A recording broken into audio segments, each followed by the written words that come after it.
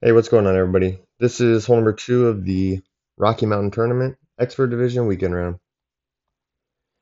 For our tee shot, we want to use a quarterback level 9 and above, and either a Kingmaker or Kingslider ball, depending on our wind. We want wind to be somewhere between 6.5 and 8.0 miles per hour. We're going to apply four backspin with two left spin, and then we're going to position ourselves at the edge of the water, the water line, where the ball guide first becomes visible, and we want to have the ball guide running along the grid line, the first grid line left of the hole. Our adjustment is going to be one wind per ring, so with 7.5 wind, we're going to adjust 7.5 rings. I'm doing a push adjustment so the tree doesn't obstruct my view when trying to pull rings. Then we're going to center the ball.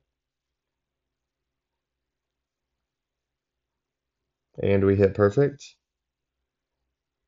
Ball is going to land in the rough, bounce up onto the green, and we're going to roll out just left of center for the drop on hole number two.